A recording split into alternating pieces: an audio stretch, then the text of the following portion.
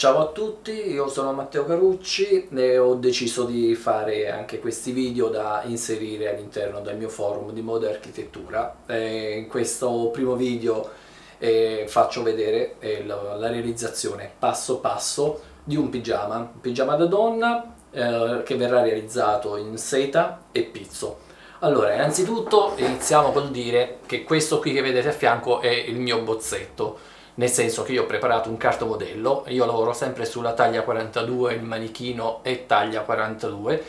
e nel eh, interagire con, con la mia cliente in questo caso abbiamo deciso di tirar fuori un modello. Io intanto ho preparato questo bozzetto, realizzato con della stoffa di cotone, comunque anche, va bene anche in genere si usa anche la teletta. A me la teletta non, non piace molto perché è abbastanza rigida per cui molti difetti non li vedete addosso perché comunque sia è come se usaste il cartoncino, il cartoncino comunque scende benissimo sia sulle spalle, quindi difetti non vi fa vedere, usate sempre delle stoffe abbastanza morbide, in questo caso uh, gliel'ho fatto provare, eh, va benissimo addosso, per cui comunque infatti abbiamo fatto anche, mi avvicino qui al manichino per farvi vedere anche abbiamo fatto i segni, abbiamo fatto i segni su come vorrebbe che fosse, allora questa linea qui, questa parte qui verrà in in pizzo, così come anche le maniche mi ha fatto il segno della lunghezza delle maniche, mentre il pantalone, eh, adesso magari abbasso un po' la webcam o comunque se riuscite,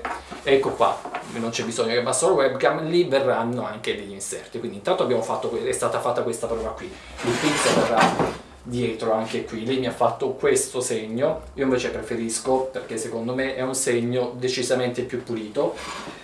abbassarlo. Tanto comunque non, no, non userà, pare, il reggiserino, perché comunque è un pigiama che andare a dormire, quindi uno comunque sta comodo, quindi non stiamo a guardare benissimo la parte di, di scollatura dietro per vedere eventualmente se non c'è il reggiseno no, non serve stare a vedere esattamente il punto di conseguenza io lo farò arrivare all'altezza della manica in maniera tale che almeno graficamente il, il pigiama abbia, abbia un senso così come anche qui verrà spostato questo punto che non va bene, lo farò arrivare fin sotto in maniera tale da creare comunque un'armonia tra, tra, il pizzo e anche la seta, la seta bianca. Quindi una volta abbiamo fatto il bozzetto, io questo qui lo considero un bozzetto, quindi comunque voi partite da un'idea, quindi partite da un'idea che comunque avete in mente, poi comunque realizzate quello che dovrebbe essere il vostro cartamodello, dopodiché passerete a lavorare sul bozzetto e di conseguenza le modifiche apportate al bozzetto le apportate anche al cartamodello. E infatti qui vi faccio vedere anche un'altra cosa che avevo fatto i pantaloni io avevo fatto a me sarebbe piaciuto una specie di fiocco però in effetti per la notte non va bene quindi questo qui decisamente censurato se riesco ad abbottonarlo forse perché è il primo video quindi non, non, non fateci caso Insomma, a me sarebbe piaciuta una cosa del genere così, però in effetti andare a dormire non è il massimo, quindi questa parte qua sparirà. E quindi questo qui è il bozzetto. Vi faccio vedere la stoffa, ovviamente questo è il mio angolo di, di lavoro, il manichino maschile, lui starà buono perché in questo momento non ci serve. Questo è il pizzo, non so se riesco a farvelo vedere, ecco qua. Questo sarà usato per la parte sia per le maniche che anche per la parte questa parte di sopra del, del pigiama e ecco qua questa è la parte positiva che è anche la seta, la seta bianca quindi una volta che noi abbiamo preparato proprio perché non è, non è bello da vedere mettiamo così così sembra più pigiama.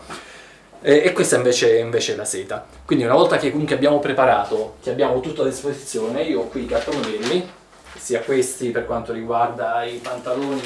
che per quanto riguarda il di sopra. Io ovviamente se andate nel mio forum ci sono ah, c'è anche questo cartamodello. Io ovviamente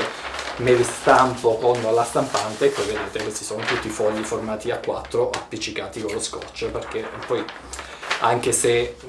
diciamo quel margine di mezzo centimetro se non siete così precisi alla fine non succede nulla perché comunque anche se a pelle un abito non stiamo a guardare mezzo centimetro c'è comunque un piccolo margine d'errore per cui non, ci sono problemi. Potete anche usare tranquillamente i fogli a 4, poi se sgarrate di qualche centimetro non ci sono problemi. Dunque, detto, fatto, fatto, questa premessa che era importante per farvi vedere lo sviluppo di questo, di questo che sarà il bozzetto, come diventerà il pigiama, passiamo alla fase successiva, cioè al taglio della, de, della, stoffa. Per cui la prima parte, uguale, ovvero l'introduzione, per quanto mi riguarda, la, la, chiudo qui e poi adesso preparo oh, la stoffa con i cartamodelli, così andiamo al passaggio successivo, cioè quello di tagliare la stoffa.